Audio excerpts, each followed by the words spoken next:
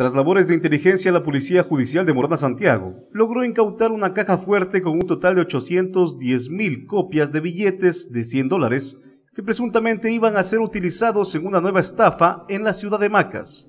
En un predio, en un domicilio presuntamente abandonado, eh, bajo la, el levantamiento de información y técnicas especiales, especializadas de investigación, se tuvo conocimiento que en este lugar se estaría almacenando eh, presuntamente dinero falsificado, por lo que se actuó con las respectivas órdenes de allanamiento, verificando en el presunto domicilio abandonado, se ubicó una caja fuerte eh, donde se encontraron eh, papeles similares a los billetes de 100 dólares. La caja fuerte con los billetes fue encontrada debajo del piso de una vivienda abandonada ubicada en el sector Domono en el Cantón Morón.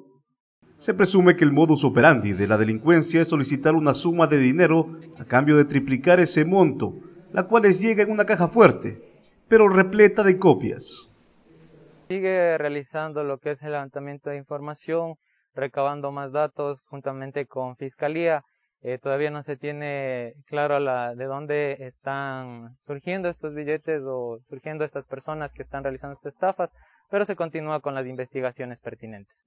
La codicia ya pasó factura en Macas, pues según los agentes de la policía ya existen dos denuncias sobre este tipo de estafa. Se les sugiere que no caigan en este tipo de, estafas, de este tipo de ilusiones, que sería de duplicar su dinero por, por eh, pocas cantidades. Eh, esto no es un método legal. Es importante que la ciudadanía no se deje llevar por las ofertas de préstamos que circulan en redes sociales y que sean víctimas de este tipo de robos, informó Robinson Rodríguez.